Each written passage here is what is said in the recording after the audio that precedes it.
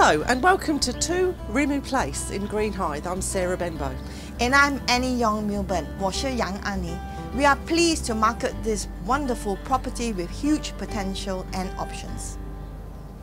The land here is 5,686 square metres, which was recently subdivided into three generous sections and all of the titles are now out. However, with the recent unitary plan, there could be a possibility of further subdivision to five or more sections. We will have to wait for the final decision. Please kindly do your own investigations. If you are an investor and looking to land bank, the house behind us has five bedrooms and two bathrooms. Open plan living, dining, and kitchen, which will provide you with rental income while you are waiting for your development plans. The Knoll, Churchouse Road, Thomas Hunter Lane.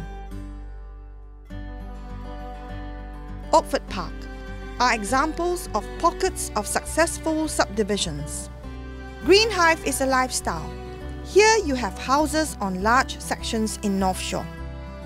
This will be a gem of a place to live, as the future indicates properties being carved to as small as 300 square meters in North Shore.